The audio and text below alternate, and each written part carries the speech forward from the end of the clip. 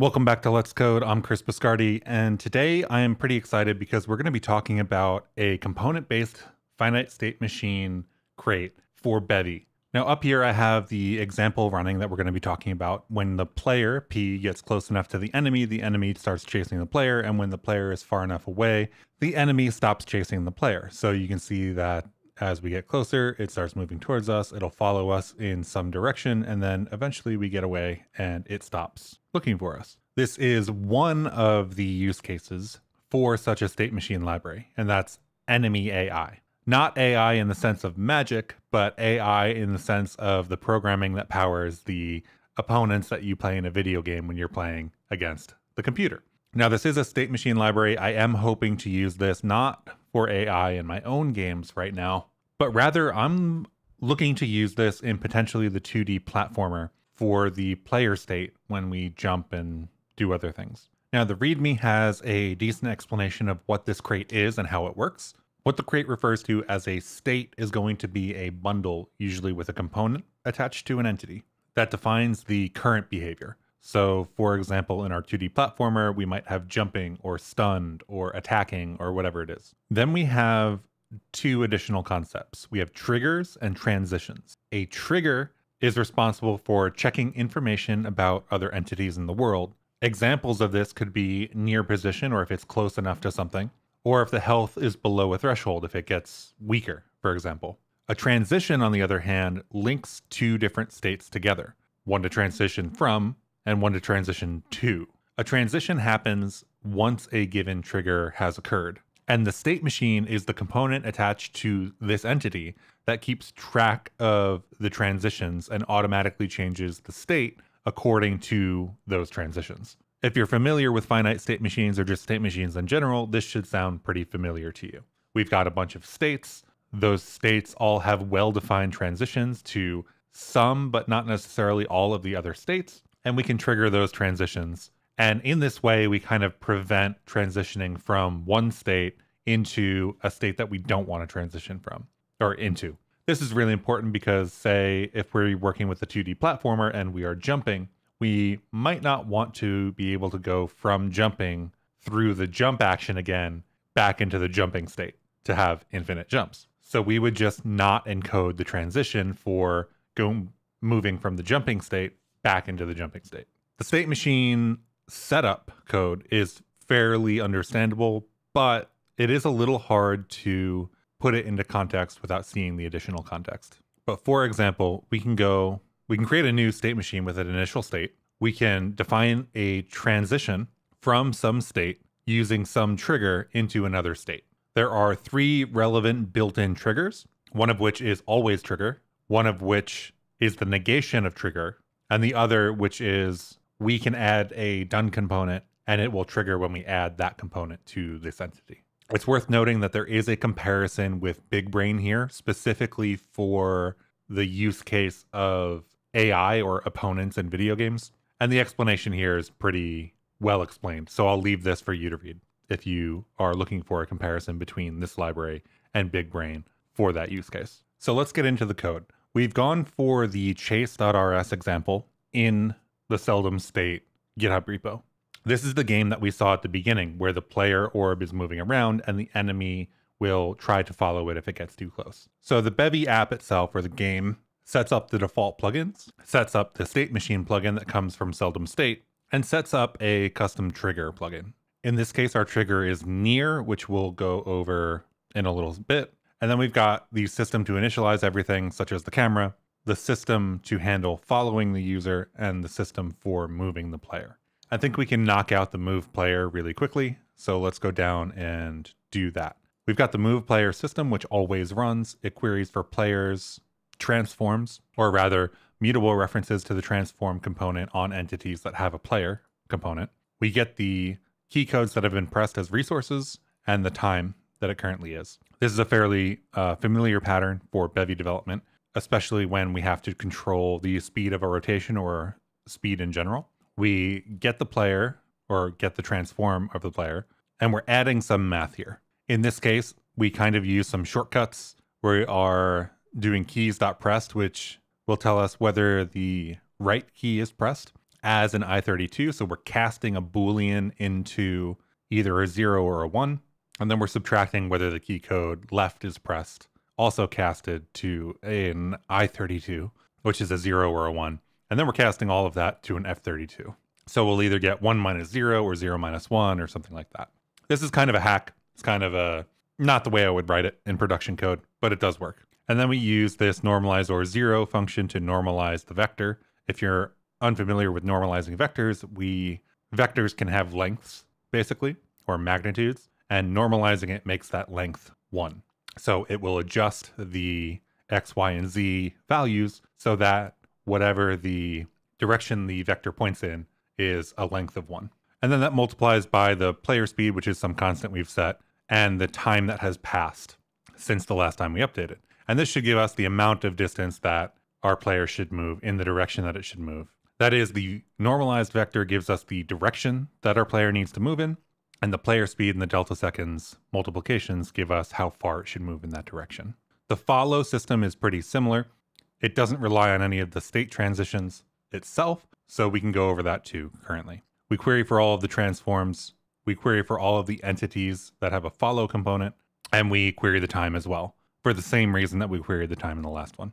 So for every entity with a follow component on it, we get positions of the follow target and the entity that is following itself. And then we update the position of the follower to be towards the direction of the followee. So the enemy follows the player in this example. And then we do the same thing we just did.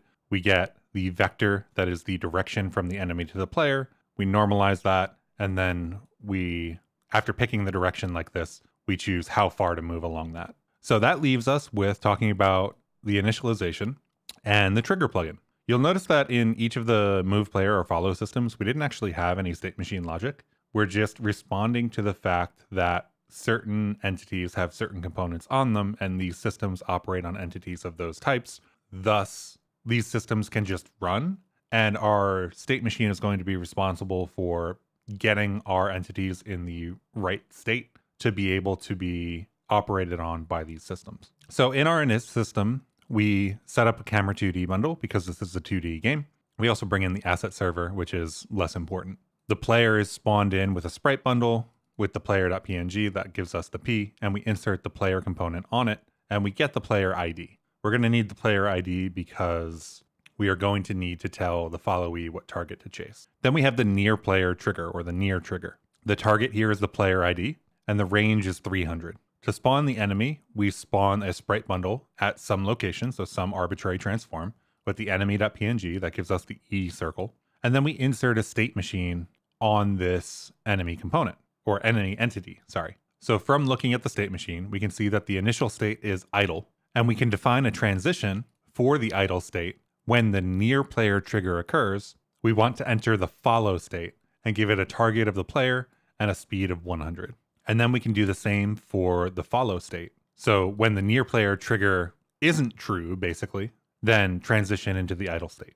So from this state machine, we can see that it goes from idle to follow and from follow to idle. And those are the only transitions that we've defined. So those are the only things that can happen. If we're in the idle state, we either have to have started there or we have to transition to it from the follow state. If we're in the follow state, we must have transitioned to it from the idle state.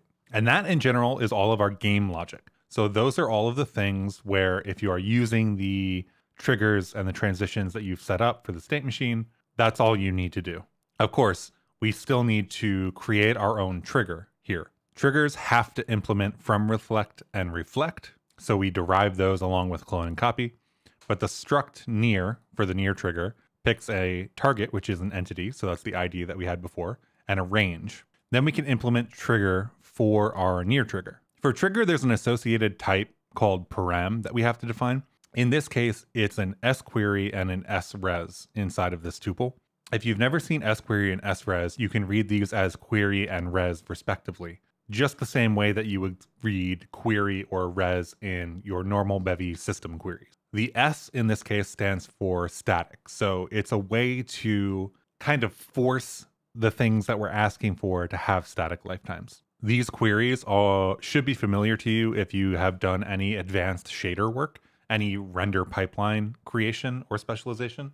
uh, because these can show up there as well. But if you are confused by them, just read it as query and res instead of squery and sres. Although know that they are not the same exact things. Then we have to implement the trigger function to satisfy the implementation of the trigger trait. There are some comments here that say the trigger runs once per frame, so keep that in mind if you're trying to do anything expensive here. The param is going to be that query that we asked for, so this is kind of like an alternate way to inject a Bevy query, whereas we have this really nice API down lower in like, for example, move player, right? We've got queries and reses here, and we can do query for these components or res for those components, and this kind of just magically works for us. But when we get into the nitty gritty, we kind of have to do this a little bit ourselves. So we have to set up these types in a different way. So the trigger gets the entity and this kind of like system query type, we'll call it, which is just going to be that param associated type. So we get access to the query and the res- and the resources that we want here, for example, time, and we have to return a boolean value for whether this should trigger or not. This will look really weird to you probably, but it's uh, kind of a shared reference and then two dereferences to the param. This gives us the transforms on the left and the time on the right. In this case, we aren't using time, so it's just included here as an example of how to get a resource, since this is an example. But you can see how this query for transforms is going to give us a query for transforms just like we would have expected in any of our regular Bevy systems. We calculate the delta between the follower and the target because remember, self is near, and near has the target entity. So we get the entity that we're operating on from this trigger function, and we get the target from our near struct. In this case, we're doing the same kind of little hacky bit translation minus translation, which is a vec3 minus a vec3, which will give us the appropriate vector from one entity to another. And then in this case, we use the Pythagorean theorem to determine whether the target is in range of our radius. So this would be a squared plus b squared equals c squared. In this case, c is the range. So if you can draw the triangle, a squared is the vertical piece, b squared is the horizontal piece, and then c squared is the diagonal piece of a right-hand side triangle. So we get the deltas, we square them, we get the deltas, we square them, and then we check to see if the calculated c is less than or equal to our range or our ideal C, right? So what this is doing is checking to see if the delta x and the delta y or a and b, when squared and added together, produce a C, which is how far this is from us, that is less than or equal to the range. Now, I do want to kind of point out that the way that we're calculating this can be done in the same way as I'm showing here. So this uses the Pythagorean theorem for some reason. But if all we're trying to do is get the magnitude of the vector that we just calculated, then we can do delta dot length, which will give us that magnitude.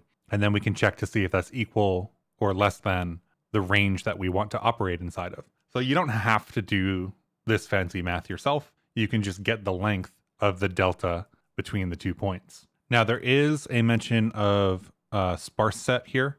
I believe that they're doing this optionally for performance reasons. I don't think this is required, so I'm not going to cover it, but you can choose the way that your components are being stored uh, in Bevy. And this is one of the ways that you can choose to do that. But that's it. I'm kind of really interested in using this API a little bit more and developing a feel for where the boundaries are. The API or the crate is fairly early in its lifecycle. I think it's version 0.2 right now. So I do anticipate that this will evolve in the future. For example, there is some future work mentioned in the README, along with a couple of different notes. So, for example, if you are interested in data flow coming from the triggers to states, then you can probably wait for the maintainer to do that. It looks like they're going to implement it. Or transitions that can transition from any state. Maybe this means some shorthand, for example. They're interested in seeing more flexible composable triggers, such as this hypothetical pseudocode where there are two triggers and they both have to fire for you to transition into the next state, or multiple state machines on an entity, which they're probably not going to implement and they're not even sure that they want it in the crate. So if you're interested in getting involved, here are some options. And I hope you enjoyed the video because I'm looking forward to using this in the 2D platformer, seeing if we can use it for the player control because I've been looking for a way to do player state and state machines specifically inside of the 2D platformer to do different kinds of controls. Now, there is one other crate that uh, I'm going to go over, or rather, the Leafwing Abilities crate is a crate that I also want to make a video on, which will also be useful for the 2D platformer. This is for things like the ability to charge or time out different abilities, but this isn't the video on that, so I'm not going to talk about it. And I will see you in the next video. Have a great day.